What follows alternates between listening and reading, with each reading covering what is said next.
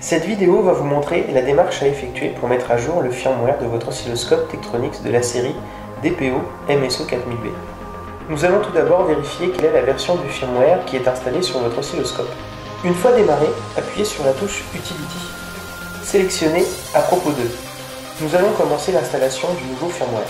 Insérez la clé USB dans l'un des ports USB disponibles. Mettez votre oscilloscope sous tension